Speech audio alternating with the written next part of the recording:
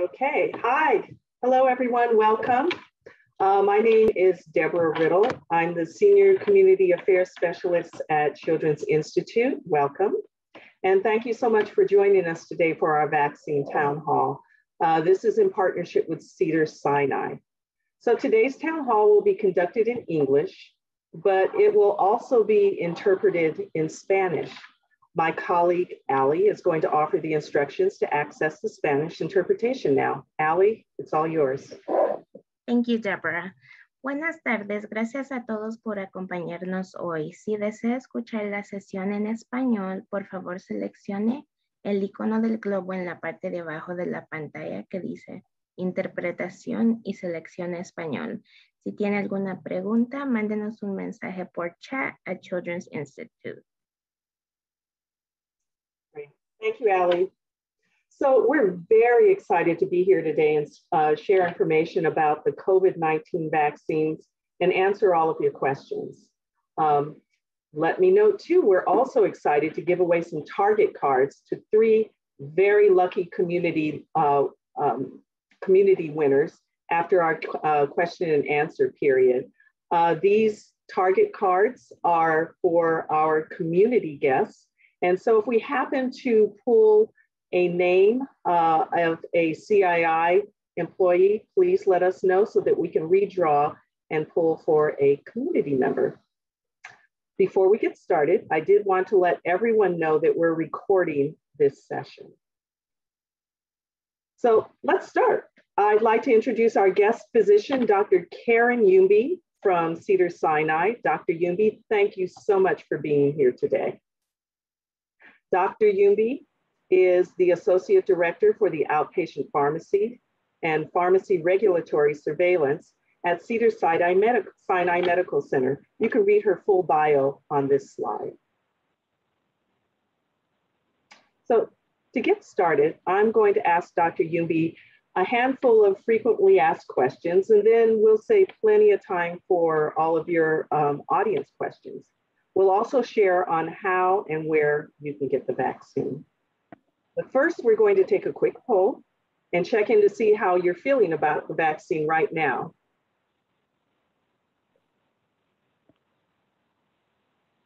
Okay, I'll just go ahead and read some of the questions. You can read along and go ahead and log in your answers.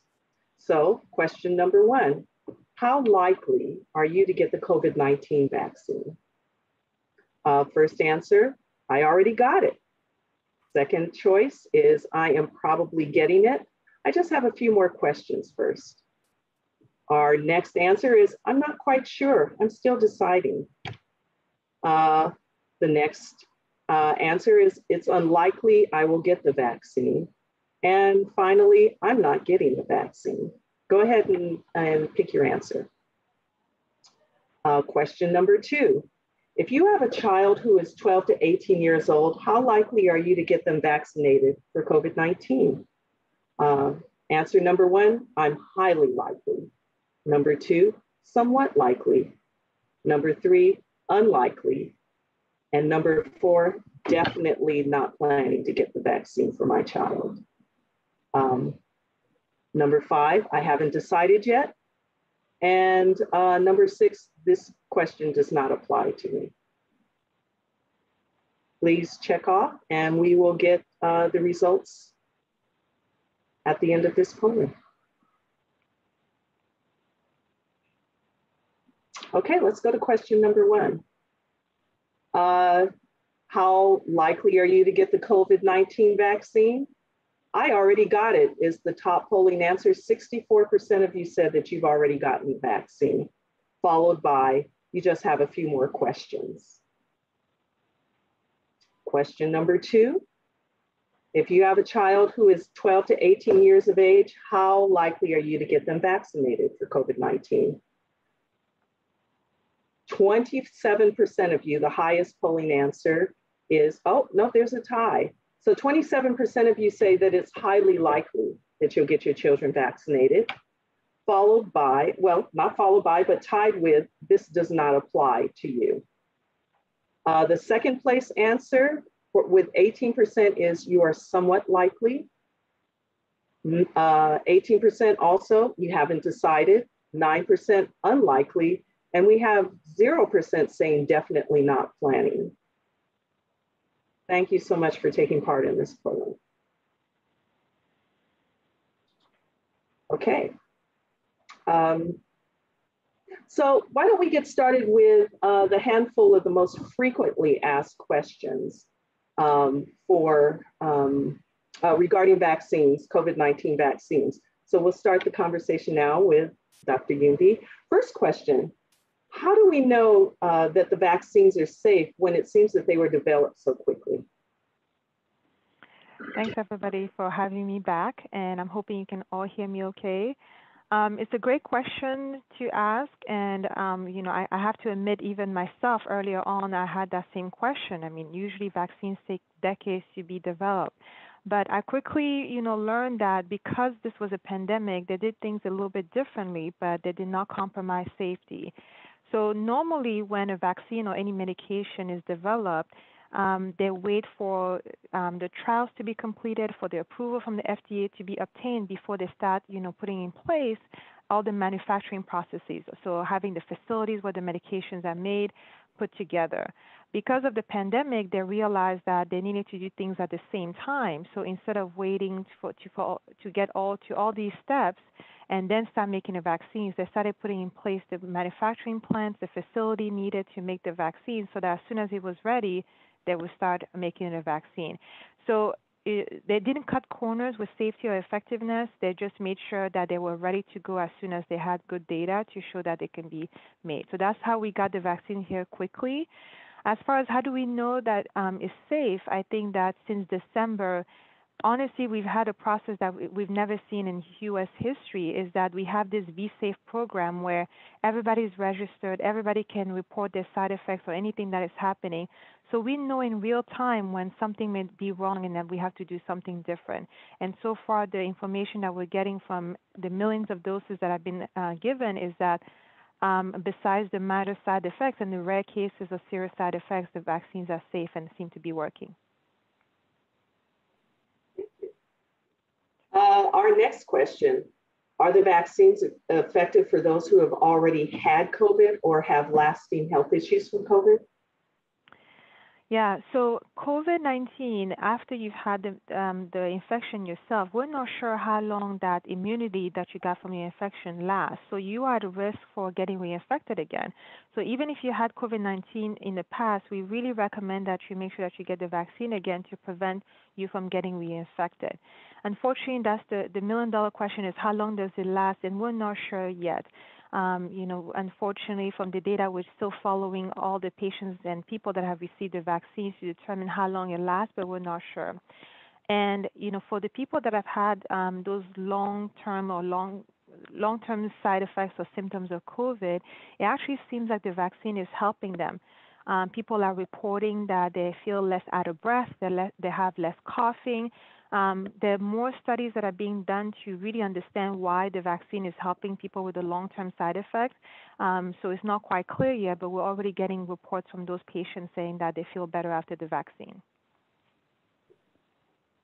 Um, how long should someone wait after testing positive for COVID-19 to get any vaccine?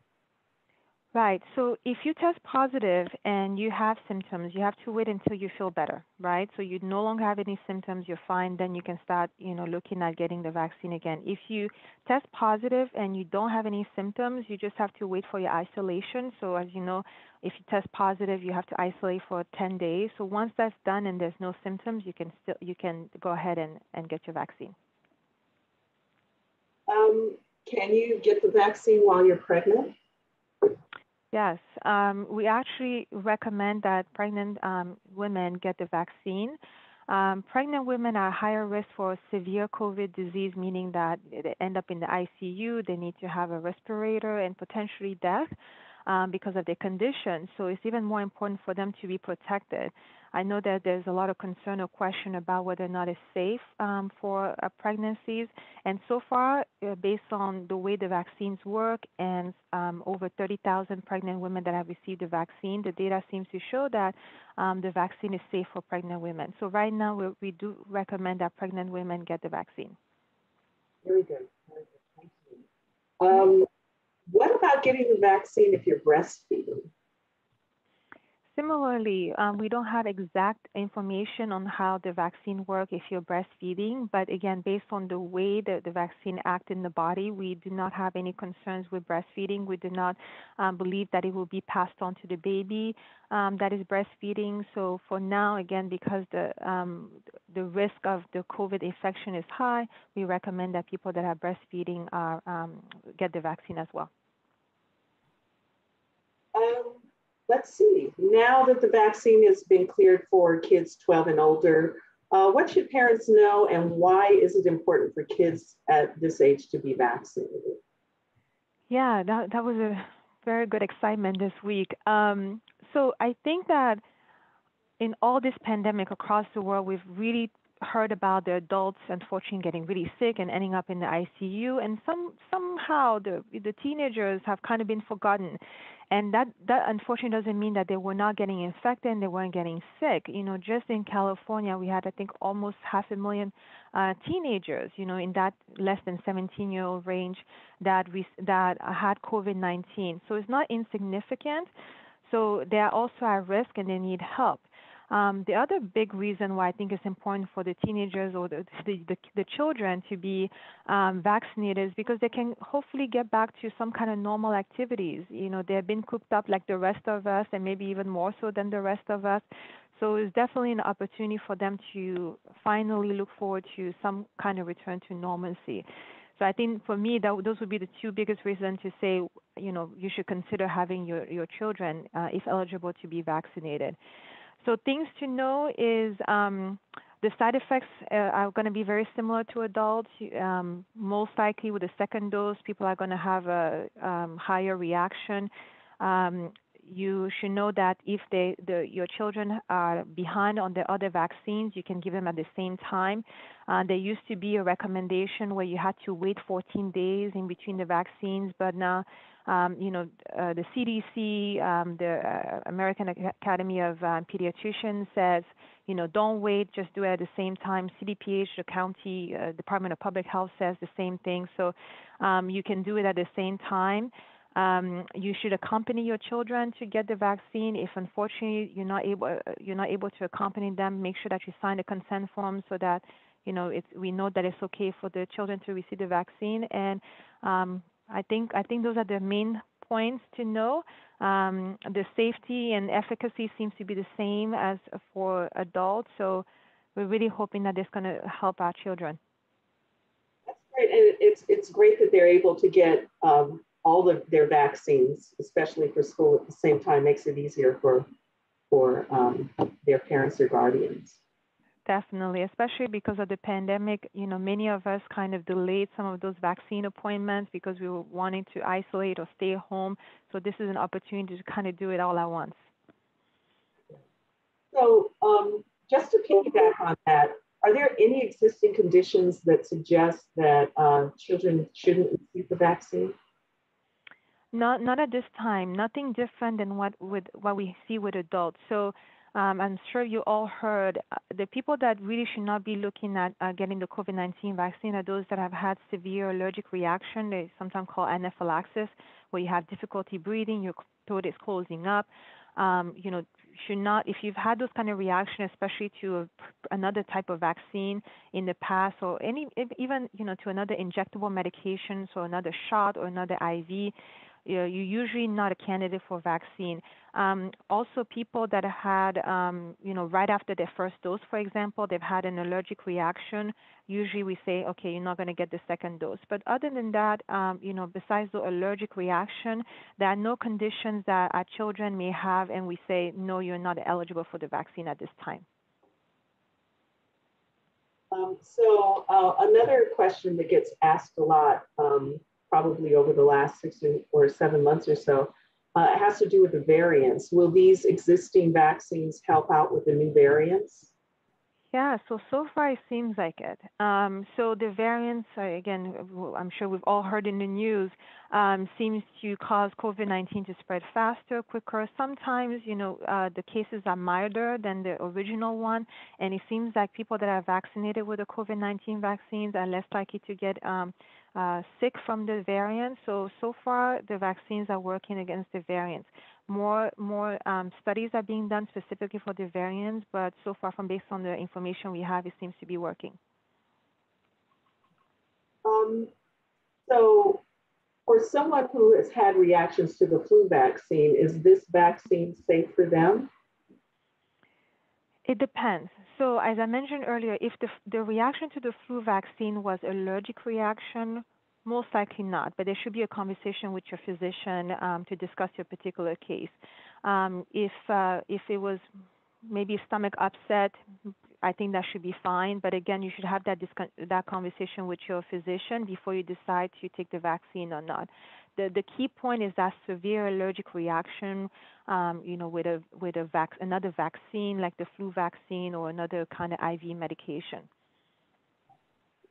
And uh, what about um, uh, the chance of someone who has received has has received the vaccine uh, spreading COVID-19 to family and and other loved ones? Yeah, now that more people are vaccinated, it, sound, it seems like, um, based on the information we have, that is, the vaccine is helping reduce the transmission. So if I'm vaccinated, I'm less likely to transmit it to somebody else. But again, I'm, I'm going to sound like a broken record, but nothing is set in stone. We still are looking at information. We're still gathering information. But for now, um, you know, a few months ago, I was going to tell you we don't know, but now it seems like it. And hopefully, in the next few months, as more people get vaccinated, we get more information, we'll have even a better answer. But so far, it seems like it's, it's helping um, keep people from spreading the the the, the COVID-19. And, and is there anyone that you can tell us about who should not, who should definitely not get the vaccine? Yeah, again, the um, severe allergic reaction. If you've had a vaccine before, flu vaccine, Tdap, any type of other vaccines that we routinely get, and you've had that severe allergic reaction, you're probably not a candidate um, for it. If you've had um, uh, allergic reaction to things like Miralax or you had a colonoscopy and they gave you a big bottle of, of medication to drink, that type of medication, you're probably not a, um, a candidate for the Pfizer Moderna vaccine. Um, so it's really about uh, the allergic reaction. If you've had an allergic reaction after the first dose of the vaccine, you probably should not get the second dose of vaccine. So I highly re- recommend that if you've had any kind of allergic reaction like that, to discuss with your physician first, and then the, together you guys can make a decision. And is there any particular vaccine, Moderna, Pfizer, or Johnson and Johnson, uh, that you recommend, or are, are all three of them good options? Honestly, they're, they're all, all good options. I know that Johnson Johnson was just in the news. Um, there was a lot of concern with that, and you know they came back and said, based on the information that we have, if you are a woman uh, uh, younger than 50 years old, you may have a risk, you, so you may want to look at something else. Um, so I would say that if you're a man, all three of them are, are, a good option. If you're a woman under the age of 50, you may want to have a discussion with your physician and you may want to go with Pfizer or Moderna. If you're an older woman, all, all good options at, based on the information we have at this point. Uh, so should people be concerned about the Johnson Johnson? You just uh, spoke about uh, some issues they just had. Should they be concerned about the Johnson Johnson vaccine uh, after it was in the news recently, or is everything worked out? Yeah, I think it kind of got resolved in a sense. And if I can kind of give some background, um, because this is such a high visibility situation and we want to make sure that people are safe with these vaccines, the moment that there's a spike in particular side effects where we're seeing the concern, the regulatory agencies like the FDA, the CDC, or you know the California Department of Public Health, they're going to do the right thing and say, why don't we stop, see what's happening, and then determine if it's safe. And I know that causes a lot of con- concern, but to me, it actually means that the system that they put in place is working. They truly are looking out for us, and that's why they, they, they're doing this out of the abundance of caution. So what they ended up doing is they reviewed the information and you know there was um, this link identified between the johnson & johnson vaccine and this condition called tts meaning people have clots in their brain or, or and they have low platelet count meaning that they can uh, bleed easily. So they identified that um, it was about seven out of a million, one million doses identified, uh, uh, um, one million doses administered that um, had this TTS condition. Um, they didn't think that it was significant enough, it's rare enough that they felt that it was safe for the Johnson Johnson vaccine to resume uh, to to resume to be given to people. So a couple of weeks ago, they said, go ahead, please continue to to give the Johnson & Johnson vaccine. They did say that for women over, uh, under the age of 50, so younger women, you may be at risk for that TTS, which is rare, but you may be at risk and you should be aware. If you are concerned, you should look at Pfizer and Moderna for your vaccine moving forward. So I, I, you know, I know this very concerning and there's that rare risk, and thankfully we have options so that you can go to the other two vaccines if you you don't feel comfortable for the Johnson Johnson. But the good thing is that we know that men can use any of those vaccines without any concern, and older women as well. So, um, once someone has been vaccinated, how long is that their particular vaccine effective? And is there a possibility that we'll need to receive vaccines every year like we do with the flu shots? Yeah, to answer the first question, fortunately is that we don't know yet um, as how long would the vaccine last. And that's why the, the, the, vaccine manufacturers continue to monitor patients that have been um, vaccinated to figure out is it nine months, six months, 12 months, how long until you know you no longer have that immunity. So unfortunately, right now we don't know, and that's why even though there's been some relaxation about the masking policies, we're still asking everybody to be careful and not to you know to to get put themselves in, in jeopardy. Um, as far as the what we call the booster shots, it's uh, possible. Uh, if you take the example of the flu, the flu virus, every year it mutates, it changes. That's why we have the COVID-19 variants you talked about earlier. So it's possible that to adapt to those variants as they develop, we may need uh, a yearly shot. But again, it's unfortunately too early to tell, and only you know more time and patience will let us know. And um, what can people uh, safely look forward to after they're fully vaccinated? What does it mean when you're fully vaccinated? Yeah, that, that that's been the, the one of the greatest news. We keep seeing, you know, an, uh, announcements about that. So first, um, fully vaccinated means you receive both doses of Pfizer and Moderna, and you waited two weeks after the, the second dose or you received the Johnson Johnson single shot and you waited two weeks after that. So it's after two two weeks after you completed the vaccine that you consider fully vaccinated, not before. So I want to make sure that everybody is aware that you need to wait those two weeks to consider yourself fully vaccinated. And the new guidance from the CDC is that you can now meet up at home or in a closed environment, indoor environment with other people that have been vaccinated. You can even meet up with unvaccinated people as long as they're all from the same house, right? So if you go and visit your relative that all live together and they all decided they don't, they didn't want to um, be vaccinated, you can do that, and you don't have to wear mask or physical uh, do the social distancing with them. Um, you can go for a walk or, or you know or run outside um, without a mask if you've been fully vaccinated. So you, you're starting to um, kind of go back to normal. I do want to caution us to not get too excited. Um, let's not go to outdoor concerts or indoor concerts without a mask. We still can't go to the mall without a mask, even, even if you're fully vaccinated. So it's kind of a balance, but it's a step in the right direction, and um, hopefully pretty soon we can go back to normal. That's very exciting. I'm, I'm sure everybody would love to get back to some kind of normal, so that's exciting news. Definitely. Well, you know, now we're going to take some uh, audience questions uh, that we've received in the chat. And if anyone wants to ask a question, um, please use the raise your hand feature uh, that you'll see by clicking the reactions button on the right hand bottom of the screen. And uh, then I'll, uh, we'll select um, each person in um, that I can see with their hand raised. Uh, let's see.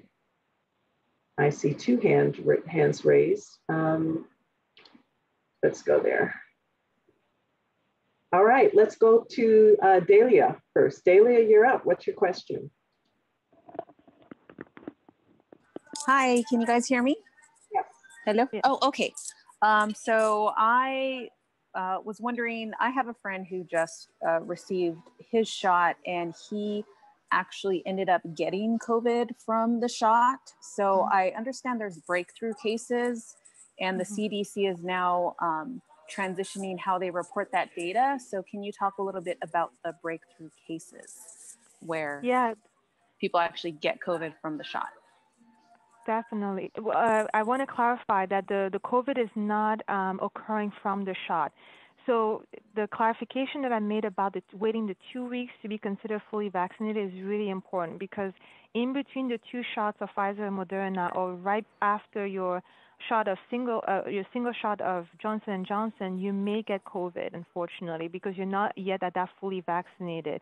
But I want to clarify that it's not um, the COVID uh, the COVID vaccine is not giving the people the COVID uh, disease, right? So there's nothing in the vaccines, any of the three vaccines, that can make somebody have COVID-19 disease itself.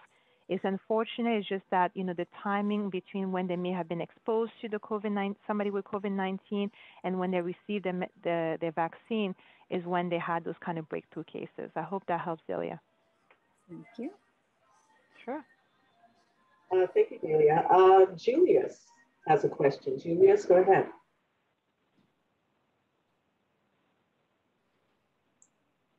Um, my concern is I, I want to get the vaccine done, but I'm afraid because I have a large heart and I have congested heart. So I don't know if it, I don't know if it would affect me or not. Yeah, that's that's a good question, and and I want to make sure that you check in with your physician because he knows or he he or she knows you well, and they know um, your surrounding factors.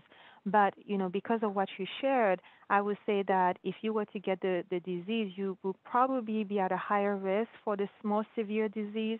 So I definitely encourage you to please talk to your physician and discuss whether or not you'll be eligible, how it may impact you in a negative or positive way, and then you know make that decision with your physician okay please do not delay having at least the conversation if together you decide that the vaccine is not for you at least you know and you continue to protect yourself by using mask and doing social distancing but if you determine that it's for you then you you um, reduce any delays in you getting vaccinated and safe and be safer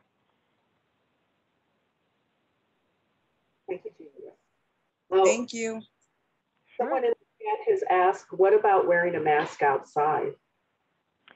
Yeah, so as I mentioned, if you're going to be doing um, walking, running, you know, going from one place to the other outside, you don't you if you're fully vaccinated, as I, as I mentioned earlier, you can do so without um, wearing a mask.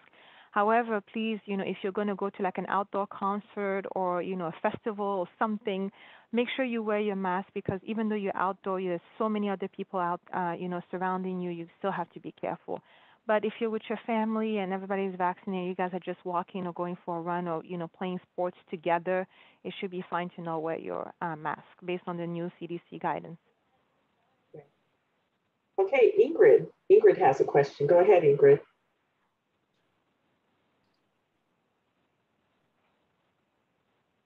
Ingrid?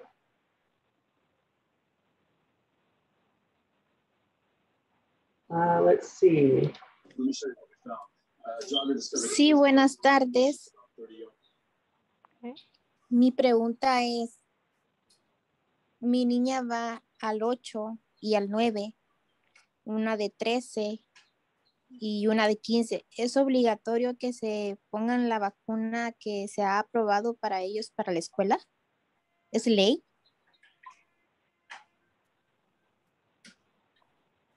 por su pregunta. So she's asking if kids will be required to get the vaccine, kids who are over 12 years old, in order to attend school. That's a great question. Um, right now, there's no requirement of making the vaccine mandatory for anybody, kids or or adults. Um, I think that everybody understands that this is a personal choice. This is in a unique situation. It's unlike the other vaccines where um, you know, parents are required to fill out a form and show Im uh, immunization vaccine records. Um, this one is a little bit different.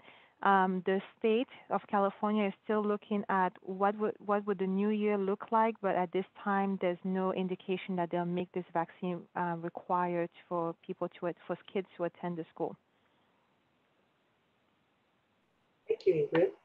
Uh, Delia, you're up again. Delia. Awesome, thank you. Um, so I just had another question because it's technically not FDA approved, and it's my understanding that they skip uh, like the part that was kind of missing is the animal trials got skipped for the mRNA. So can you guys touch on kind of some of the previous research that was done regarding mRNA trials? Sure. So mRNA actually is not something new. It's maybe new as a type of uh, delivery of a vaccine to our body, but it's not something new. mRNA has been studied for decades.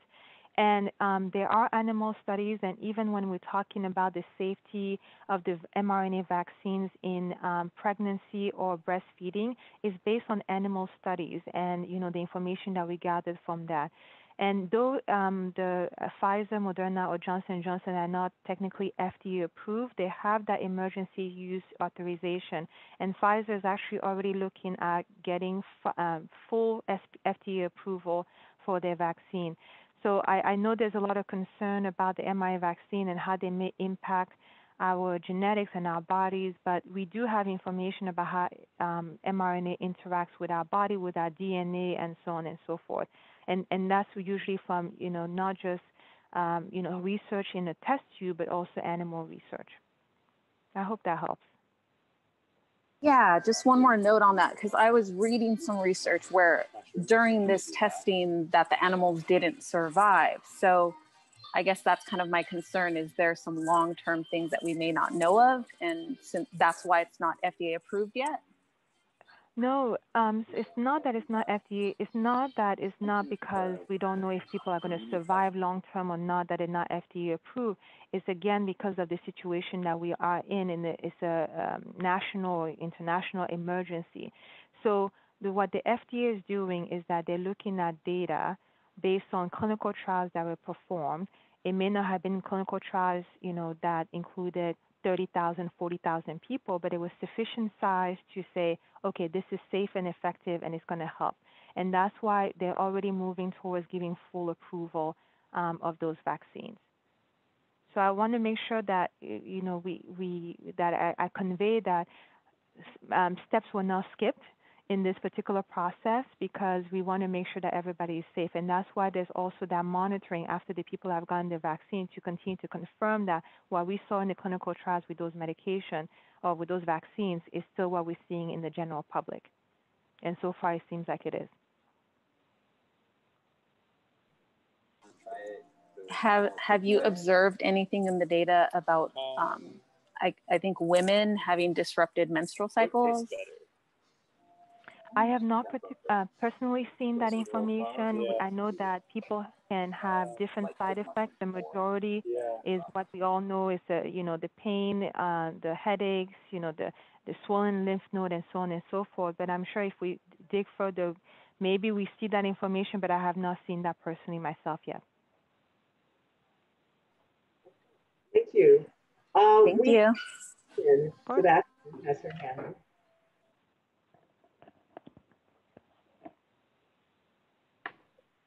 I'm sorry, can you say that again, Deborah? Sebastian. Oh. Hola, buenas tardes. Eh, yo quería hacer una pregunta. Eh, estos últimos días hemos escuchado de las autoridades eh, estadales, creo que del gobernador específicamente, que iba a levantar el uso obligatorio de la máscara en algunos sitios cerrados. A mí realmente eso me preocupa porque tengo entendido que todavía hay muchas personas que no se han vacunado. Y si bien es cierto que no sabemos identificarlas, yo temo mucho todavía tener contacto y más en espacios cerrados que todavía desconozco si las personas están vacunadas o no. ¿Qué de cierto es? ¿Qué garantía tiene uno quitarse la máscara en lugares cerrados con personas que estén también sin máscara y que uno no se contagie? Porque dicen que los vacunados que no, no, deberían de que está según los estudios que los vacunados deberían usar no usar máscara en lugares cerrados porque no tienen riesgo a no contagiarse. ¿Qué de cierto es eso? Si es garantía o no. Gracias por su pregunta. So she's asking with the new mandate that mask will not be required, what are the chances that someone who's been vaccinated but isn't wearing a mask, what are the, the chances that they won't contract COVID? Great question. It depends on the setting. So if they are sticking to the current guidance of just being outdoor, kind of with their own family or themselves and walking and not in crowded space, the chance of getting COVID-19 vaccine should be low even if you're not masking.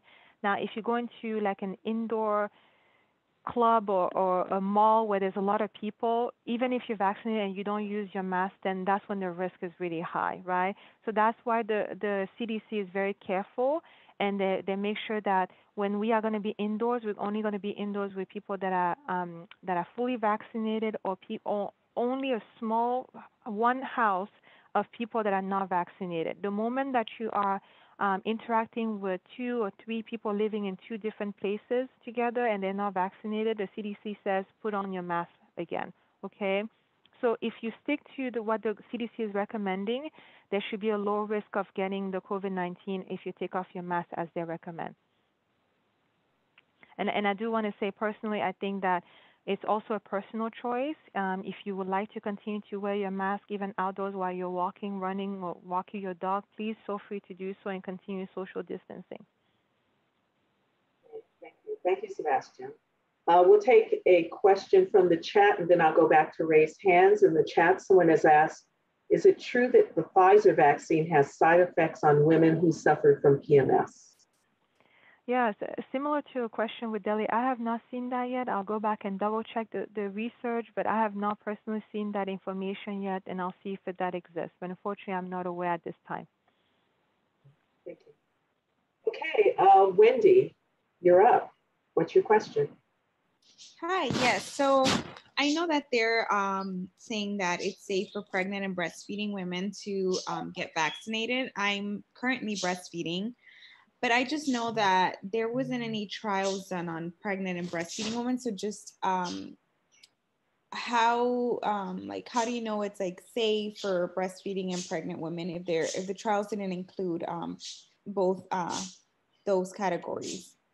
Yeah, good, good question, Wendy. So for the pregnancy, there were some um, trials in animals. I I, I know, you know, we're going to say we're not animals, but um, you know, animals trial uh, determined that the uh, the vaccine, especially the mRNA vaccines, are safe for um, people that are uh, for animals that are pregnant. And so far, there were over 30,000 women that were pregnant that received the vaccine that the um, the CDC and FDA and the manufacturers are following, and they, you know, they're following them at the trimester. They, they follow them after they gave birth to see how the the, the child uh, the the childbirth went and how the infant is doing. And so far, there have no been uh, not been any kind of serious side effects or any any adverse event to the to the baby.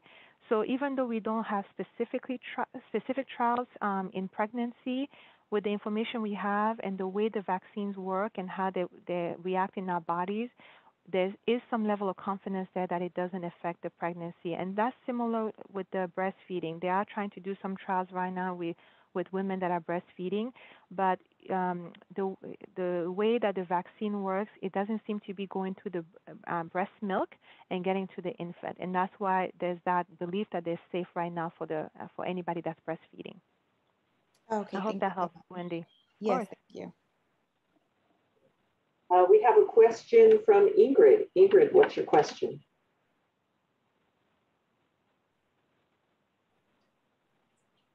¿Cuál sería el lugar recomendado para llevar a nuestros hijos a ponerse su vacuna? O si en el, en el chat pueden poner el website para hacer cita o si es necesario hacer cita para llevarlos a, a su vacuna.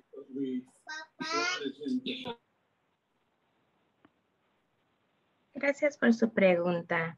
Um, so she's asking, where is the best place to take your child to get vaccinated? Oh, good question. Um, if you go to My Turn, um, the website that the uh, state of California made available, you can put in your zip code and um, identify any places. Uh, you know, any of those places uh, is, is, adequate to get your child vaccinated. If you also prefer, you can contact your child's pediatrician. Um, the state of California has really done a great job in making sure that the vaccine, now that it's open to children, the vaccine is available at the pediatrician's office or um, nearby, you know, clinic so that you can have that given. But honestly, any place that is listed on the MyTurn website would be adequate to have your child um, vaccinated. Thank you, Ingrid. Um, at this time, Muchísimas gracias por la información. Uh, Delia, you're up again. Delia? Thank you. So um, is the vaccine adverse event reporting page system a good resource to see what reactions people might be having to the vaccines? Because sure. Yeah, please oh. go ahead. Okay, because I, with the whole breastfeeding question, I did see one report on breastfeeding. So I was just wondering if that's something you had had seen there, or sure, if that data and, is and uh, not. I, that that's a great kind of way to for me to highlight a few things. So we have given over 220 million doses, I believe, um, not 220 million people, 220 million doses in the United States. And you kind of have to look at everybody is different. And if you see one report out of 220 million, it kind of speaks to is, is this something that is actually a problem or it may have been uh, something that is specific to that person and so on and so forth. And that's what that, that's you know what um, the CDC did with the with the Johnson and Johnson and the cases of TTS I, I mentioned earlier is looking at what are the reactions being reported, what is the prevalence of you know how frequent is this being seen to determine is this really a problem or is it a case by case basis and something that we can continue to watch but I definitely encourage you guys to continue to, you know, review the CDC website, the FDA website, um, Pfizer, Moderna, Johnson and Johnson website. Yeah, they have been very transparent about adverse events and, you know, risk precautions, anything they have at, at this time as far as the vaccine. All right, thank you. sure. Are there any other questions for Dr. Youmbi? Okay. Um, I have a question. Um, is it is are there many studies about the vaccine? I I just heard that 12 year olds um, are able to receive the vaccine. So I want to know what the background on the research is on being able for the kids to get the vaccine, 12 years old. Yeah, so um, there were studies that were done in um, thousands of children comparing children that received the vaccine that were willing to receive the vaccine during that research study and the children that did not receive the vaccine. And um, the, the, those studies were meant to determine whether or not the vaccine was effective in preventing the COVID disease in, in children, but also what kind of side effects that could be expected in that age range. And after that trial, that's when um, Pfizer requested um, review by the FDA, and the FDA based on that information, determined that it would be safe and effective for the children to get it. Um, so it's based on that research of those, I think it was almost 4,000 uh, uh, uh, children that were involved in that research study that they decided, yes, at this time it's safe to uh, involve the children and get them vaccinated as well. Okay, thank you. Of course. Do we have any other questions for Dr. Sí, yo tengo una pregunta. Go ahead. Ok. Si tienen algún conocimiento de algún lugar que esté colocando la vacuna Johnson Johnson. Do you know of any location that is administering the Johnson Johnson vaccine? I know that Cedar Sinai um, sometimes gets uh, some Johnson and Johnson vaccine, and they may have some of those available. but unfortunately, on top of my head, I wouldn't know. Um, outside of Cedar Sinai, I really recommend um, going to the My Turn California website and then seeing who's around you, and you can give them a call and see, you know, if they have the Johnson and Johnson versus Oh, which other okay. vaccines they may have. Okay. Okay. And a little bit of additional information to add to what you just said, Dr. Youmbi, about locations where people can look for, for information. We'll get that to that momentarily. Thank you. Are there any other questions for the doctor? And and Carolyn from from our Cedars-Sinai actually team is letting me know that my turn actually tells you which uh, vaccine is available at which site. So definitely go to that website. Thank you, Carolyn. So, Dr. Youmbi, thank you so much for joining us today and answering all of our questions. We so appreciate your time and your expertise. Thank you so much. Thank you for having me back, and I hope I was helpful. Very, very helpful. I think folks are very pleased. Thank you. So um, uh, just as I was saying, here's a little bit more information on how to access the vaccine. The Department of Public Health has multiple locations around Los Angeles with appointments available. You can also schedule an appointment at the, at the location of your choice on their website. Um, as you can see here, in order to be vaccinated, you'll need to show a photo ID and proof that you're, well, I guess now it's uh, 12 years and older. Uh, and you don't need to show government issued ID and you don't need to be a US citizen to, be, to get a vaccine. Very, very important. Um, we also have local pharmacies like CVS, uh, Save-On, Rite Aid, Walgreens. They're also offering free vaccines. And to find an appointment, just visit their websites to choose a date and time that's best for you. Uh, again, remember to bring ID. And uh, we're putting, we're going to put in the chat uh, the website and phone number to call for additional information about the vaccines. Um, so there are lots of options and uh, some of them are probably very close to where you are. So please, please be sure to check out where you can get vaccinated. Um, so that's that. Uh, we're also, uh, well, let me also say that we're pleased to announce that uh, Children's Institute and Cedars-Sinai are partnering to offer vaccinations at some of our Children's Institute locations. Uh, we'll be able to share that exciting news and the locations um, very soon. So stay tuned. Uh, so before we wrap up, we're going to announce the winners of our $50 Target gift cards.